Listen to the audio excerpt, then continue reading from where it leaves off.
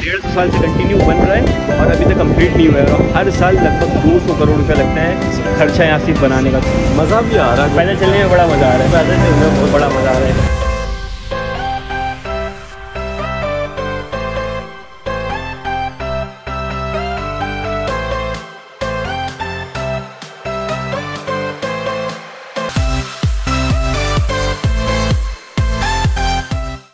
Everyone welcome back to the channel my name is Anas Khan and you watching travel with A K तो आज मेरा है पहला दिन बार्सिलोना में और ये देख सकते हैं मेरा हॉस्टल इन आउट हॉस्टल जो कि जंगल के बीच में है।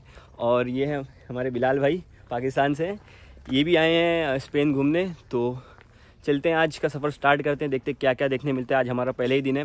तो सबसे पहला स्टॉप होगा सरगादा फैमिलिया। वहाँ देखेंगे कि क्या देखने मिलता है, क्योंकि वो जो चर्च है मैं सुना हूँ कि वो ऐसे मेल्ट हो रही है ऐसा उसमें रखता है और डेढ़ सौ साल से वो कंस्ट्रक्शन में ही है बनी रही है। तो हमको वहाँ जाने के लिए दो मेट्रो बदलना पड़ेगा और यहाँ से मेट्रो स्टेशन है अराउंड सात सौ मीटर तो दो से दो चार पाँच मिनट ही लगेगा। और ये देख सकते हो हॉस्टल एकदम पूरा जंगल के बीच में भाई। रात में जब मैं आया बारह बजे मैं डर गया था भाई। यहाँ पूरा अंधेरा कोई लोग ही नहीं है। हमारे यहाँ तो पूरे भरे रहते हैं यहाँ एक लोग नहीं है कोई भी नहीं था। तो हमारे बिलाल भाई के साथ आज हम घूमेंगे और दिखाएँगे पहले पहला इंप्रेशन क्या होता है स्पेन में, बार्सिलोना में? तो सारी चीज़ें जो भी रहेगी, आप लोगों को बताते रहेंगे। तो यार, ये देखिए हॉस्टल से बाहर निकलने के लिए इतना बड़ा गेट लगा हुआ है। ये देखिए मतलब यहाँ खुल गया खुल गया। भाई, मैंने ऐसा हॉस्टल कभी नहीं देखा। इतना मतलब सिक्योरिटी देख सकते हो, ये पूरा मतलब बड़ा सा एक मेटल गेट लगा के रखे हैं। तो ये रहा मेरे पीछे, आप देख सकते हो, ये है स्टेशन मेट्रो स्टेशन लेकिन हम गलत गलत जगह से आ गए थे। यहाँ से निकलने वाली जगह से हम घुस गए थे। तो हमको यहाँ से पूरा ऐसे घूम के उधर जाना है। तो यार, पहुँच गए मेट्रो स्टेशन और ऐसे कुछ आपको ये मशीन दिख जाएगी। आप यहाँ से टिकट निकाल सकते हैं। देखिए इंग्लिश में पहले करते हैं। इंग्लिश सिंगल टिकट एक जर्नी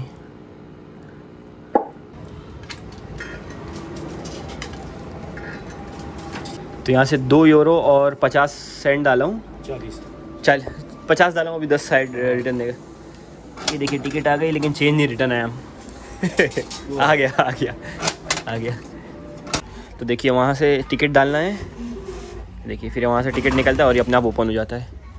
और ये रहा कुछ मेट्रो स्टेशन जो कि काफ़ी अच्छा है। देख सकते हो आप बहुत ही खूबसूरत है। दोनों पहाड़ के बीच में बना हुआ है।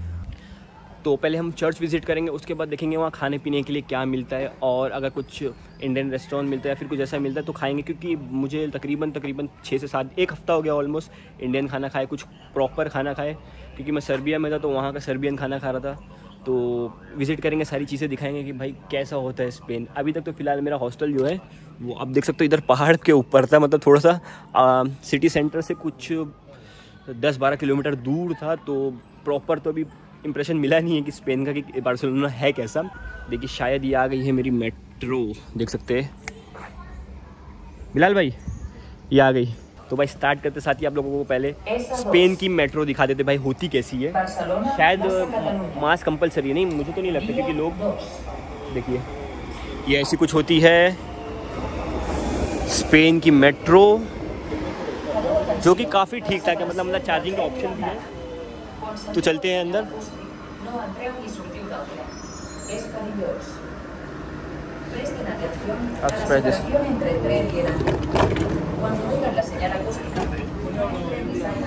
अच्छा तो भाई आ गए अंदर मेट्रो के और ये कैसी लगी है फ़िलहाल भाई ठीक है ज़बरदस्त ज़बरदस्त है अच्छी है काफ़ी मतलब काफ़ी ठीक ठाक मेट्रो है और हमारा स्टेशन ये वाला है ये सेकंड इसके बाद आने वाला है तो देखिए भाई, यही एस टू से हम आए हैं। ये स्टेशन का नाम है प्रोवेंसिया प्रोवेंसा प्रोवेंसा अब यहाँ से एक और दूसरी मेट्रो लेके हमको जाना है सरगादा फेमेलिया और देख सकते हो, ऐसा कुछ दिखता है मेट्रो स्टेशन जो भी सबवे बोल सकते हो। स्पेन में देखिए एक और आई है। तो चलते हैं हम। और देखिए, यहाँ अगर चेंज करना है, आपको साइन बनी हुई है। जैसे देखिए, हमको एम एम जो साइन है ना, उस तरफ़ जाना है, वहाँ से मिलेगी हमको। हमारा सरगादा फमीलिया की बस ट्रेन जो भी साइन है वो। तो यार हमने एक मेट्रो लेने के बाद वहाँ से कुछ तकरीबन दो किलोमीटर था तो हम बोले दूसरा दूसरी ट्रेन या फिर बस कुछ लेने से अच्छा पैदल चल के चलते हैं मज़ा भी आ तो रहा भाई खुलने वाला है आ जाओ। खुल गया।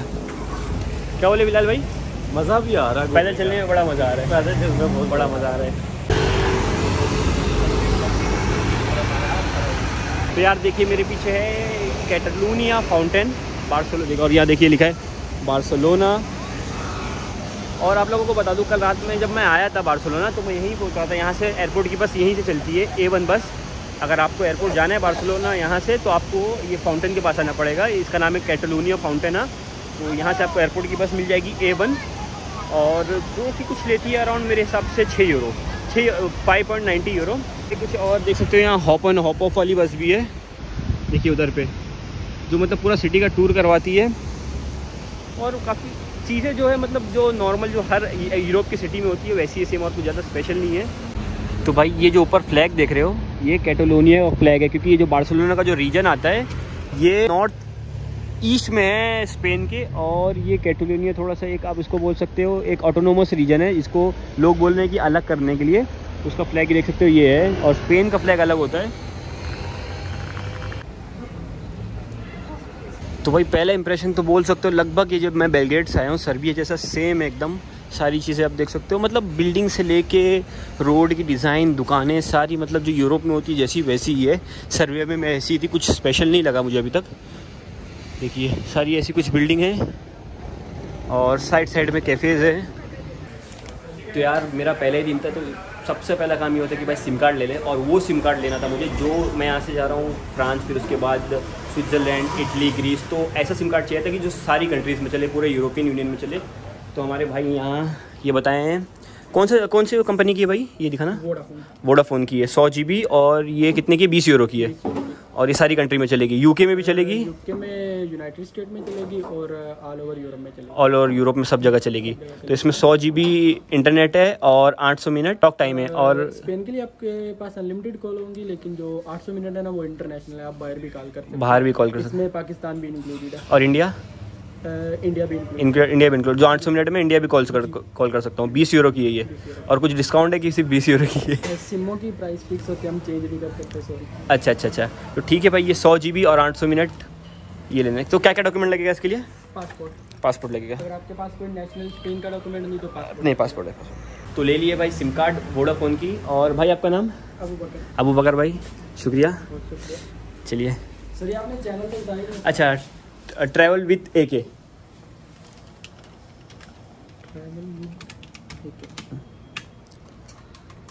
ये सबसे पहला वाला हाँ। सब्सक्राइब कर दिया।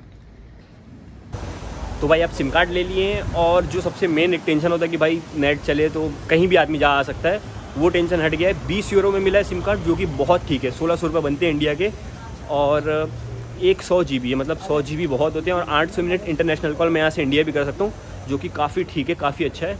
और ये देखिए सारी कुछ बार्सिलोना की सड़कें और यहाँ से ऐसे साइड में कैफ़े जैसे होते हैं ना, यूरोप में हर ही जगह सारी जगह ऐसे होते ही हैं। तो वैसे ही हैं पूरे कैफ़े हर जगह पे और फ़िलहाल भाई मज़ा आ रही है कि रोड पे चलने बहुत मज़ा आ रहा है। तो हम हमारे हम जहाँ से हमारा हॉस्टल है वहाँ से हमको दो मेट्रो चेंज करना था लेकिन हम एक एक मेट्रो आए और उसके बाद फ़िलहाल मैं और मैं बोले कि भाई पैदल ही चलते हैं। पैदल चलने में ज़्यादा मज़ा आता है मज़ा आता है। तो बस लगभग सरगाटा फैमिली पहुँच गए हैं। यहाँ से कुछ 300-400 मीटर है चार पाँच मिनट लगेंगे तो मिलते हैं आपको वहाँ पर तो यार पहली झलक मिल गई है सरगादा फैमिली है कि भाई बहुत मतलब अभी थोड़ा सौ दो सौ मीटर बाकी है लेकिन दिख रहा कितना बड़ा है भाई। दूर से मतलब आप समझ सकते हो काफ़ी ज़्यादा हाइट है यार। तो चलते हैं करीब से देखते हैं। बड़ा कैसा है बिलाल भाई? बहुत और ये भाई डेढ़ बहुत ऊंचाई पे है। डेढ़ सौ साल से बन रहा है अभी तक बना नहीं बन नहीं पाया है। डेढ़ सौ साल से बन रहा है वे।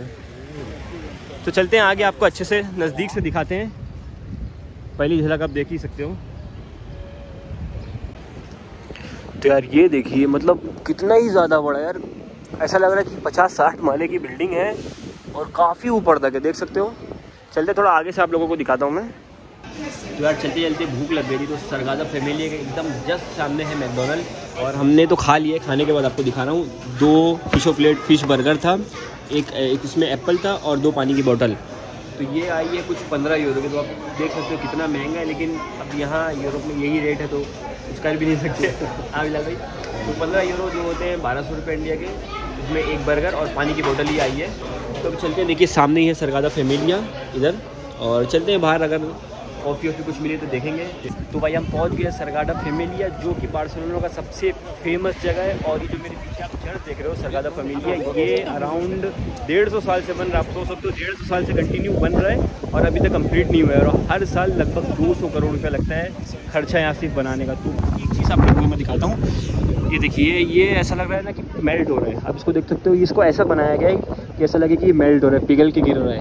देख सकते हो, कितना ज़्यादा ऊपर तक है और भीड़ देखिए चारों तरफ़, बहुत ज़्यादा भीड़, लोग भी खड़े हुए हैं। अगर आपको विज़िट करना है तो अंदर की टिकट है छब्बीस यूरो की, लेकिन अभी अवेलेबल नहीं है, आप ऑनलाइन भी निकाल सकते हो, क्योंकि मोस्ट ऑफ़ द टाइम होता क्या है कि आप यहाँ आके निकालोगे तो फुल हो जाता है। जैसे कि अभी है, आप देख सकते हो, लोग कितने ज़्यादा वहाँ पूरे भरे हुए हैं। तो टिकट अभी मतलब फुल हो गया कम्प्लीटली इसलिए आप पहले ऑनलाइन अगर बुक कर लोगे तो काफ़ी अच्छा होता है। तो यार आप लोगों को थोड़ी और चीज़ बता दूँ सरगादा फेमिलिया के बारे में। ये तकरीबन समझ लीजिए, इसमें हर साल 200 करोड़ 200 करोड़ रुपये लगते हैं इसको कंस्ट्रक्शन ऑन चालू रखने के लिए। अभी भी कुछ ना कुछ ना कहीं ना कहीं कुछ काम चलते रहता है। जैसे कि आप देख रहे हो ये क्रेन इसमें कुछ काम चल रहा है और ये तरफ़ जो है, ये मेल्टिंग पार्ट है। वो तरफ़ थोड़ा सा जो नया बना है, वो है। लेकिन आप देख सकते हो, अठारह सौ बयासी से वैसी की वैसी मतलब है। बहुत ही यूनिक आर्किटेक्चर है। देख सकते हो ऐसा लग रहा है कि पूरा पिघल रहा है। तो ऐसा बहुत कम है। और ये जो है ये दुनिया का सबसे बड़ा अनफिनिश्ड कैथलिक चर्च है। अनफिनिश्ड है जो अभी तक कंप्लीट हुआ ही नहीं। और लोगों को लोग ये भी कर, वो करते हैं कि ये कंप्लीट हो ही ना। लोग ऐसा बोलते हैं कि कंप्लीट हो ही ना क्योंकि यहाँ पे है एक बार्सिलोना कैथेड्रियल वो वो भी बहुत इंपॉर्टेंट लोगों का वो है। तो ये चाहते हैं कि अगर ये कंप्लीट हो गया तो लोग ज़्यादा यहाँ आएँगे। वहाँ के इतने लोग नहीं आएँगे। तो ये भी एक चीज़ है, लेकिन यहाँ पहले से ऑलरेडी लोग आते ही हैं। सबसे पहले मतलब जो आते हैं बार्सिलोना, वो सबसे मेन टूरिस्ट अट्रैक्शन तो यही है, सरगादा फेमेलिया। ये सरगादा फेमेलिया से हम निकल चुके हैं तो सोच रहे हैं यहाँ पास में यहाँ से तीन किलोमीटर दूर बीच है। तो देखते हैं बीच का भी चक्कर लगा लेते हैं, देखते हैं कैसी है यहाँ बार्सिलोना की बीच यूरोप की बीच देखते हैं कैसी है। और यहाँ से हमको सामने से आप देख सकते हो, वहाँ पे बस टर्मिनल है, वहाँ से बस मिलेगी जो लेके जाएगी बीच पे।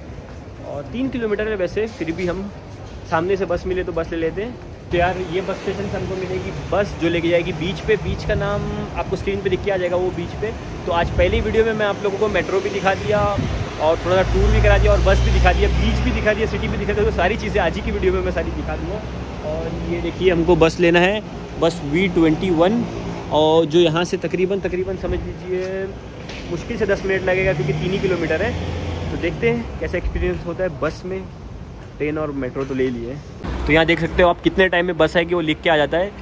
तीन मिनट में एक आएगी और एक चौदह मिनट में आएगी वी ट्वेंटी वन वो जो बस हमको चाहिए, एक दो मिनट में आएगी तीन बोल रहा था, अभी दो हो गया, दो मिनट और चौदह मिनट में आएगी। तो ये काफ़ी सही सिस्टम है। आदमी को मालूम पड़ेगा कि कितने टाइम में बस आने वाली है। तो इस तरफ़ से आएगी हमारी बस। वी ट्वेंटी नाइन तो यार, बस तो काफ़ी ठीक ठाक अच्छी है और इसके प्राइस है two point four zero euro जो होता है इंडिया की करेंसी में अराउंड दो सौ रुपये मतलब दस मिनट के लिए आप राइड लो या फिर ज़्यादा राइड लो आपको दो सौ रुपये लग जाएगा। तो ये है क्वालिटी चीज़ें अच्छी है। हम बिलाल भाई? जी हाँ ज़बरदस्त है भाई। थोड़ा सा महँगा लेकिन थोड़ा महँगा लेकिन ये है कि बहुत अच्छा है बहुत अच्छी। अच्छा है बराबर। देख सकते हो ऐसी कुछ है बस।